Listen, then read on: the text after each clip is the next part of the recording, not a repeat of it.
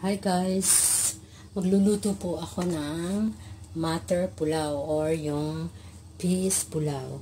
Mga kailangan po natin dito ay basmati rice uh, na babad ko na po siya ng 2 hours para madali na lang siyang maluto.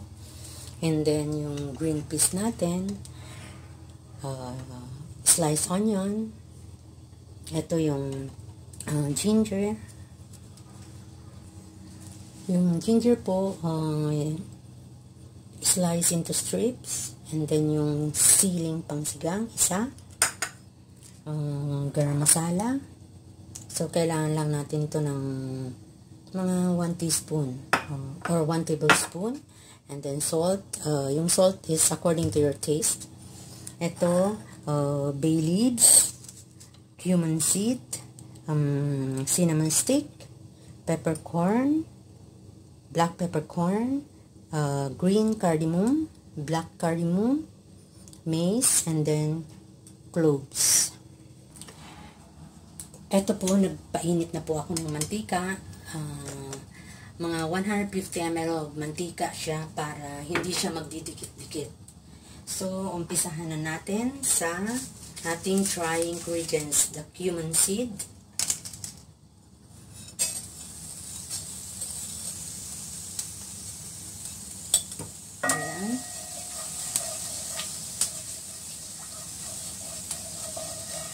Kailangan mga amoy po siya, lalabas yung amoy niya ng cumin seed.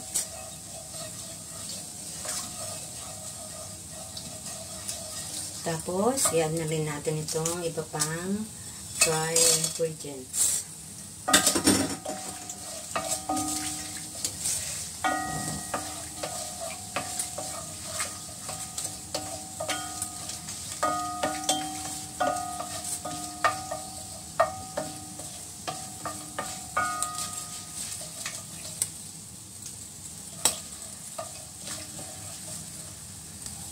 Ayan po. And then, ilalagay ko na rin po yung sliced onion.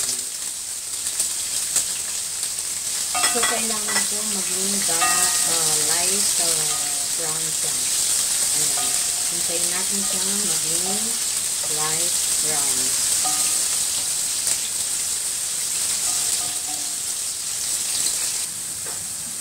Ayan po, okay na siya.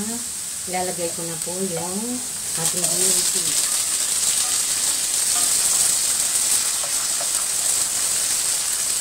Green tea and then the chili.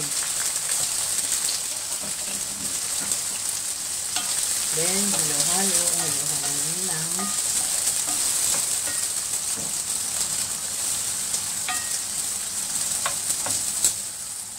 Dadagdag ko na rin yung strips na ginger.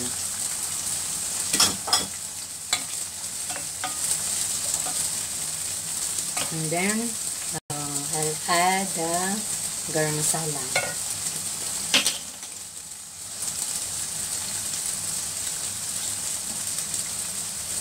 Ayan. And then, salt. Yung salt po is according to your taste. So, kailangan niya medyo madami siya or tamang-tama lang na pati yung rice niya ay may lasa.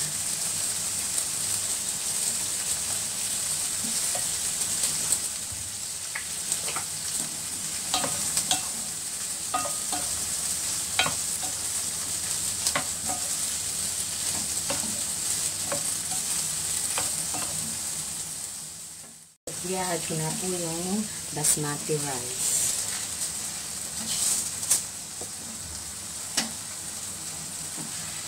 So, ayan na po, na-add ko na yung basmati rice, yung ating rice.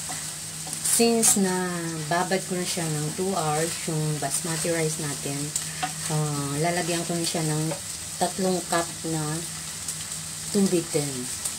Same yung cup na ginamit ko sa rice natin. So, 3 cups of water.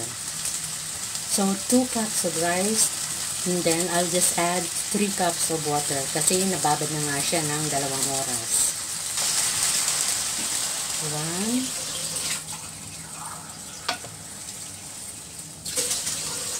2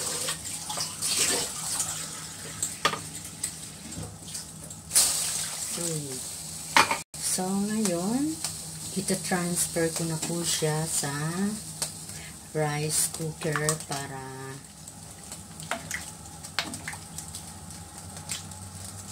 maganda yung pagkakaluto niya. So, ito po, tinransfer ko na siya sa rice cooker. Hintay na lang natin po siyang maluto.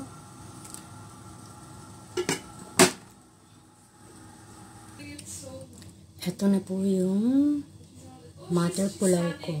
So, uh, kakainin po siya. Pag kinain nyo po siya, it should be eaten with raita. Itong raita po siya is uh, yogurt siya. And then, dinagdagan ko siya ng garlic paste, salt, um, chili powder, and um, yung cumin powder na um, cumin powder. Okay. Thank you for watching. Kung nagustuhan niyo yung video ko, give me a thumbs up. Have a nice day.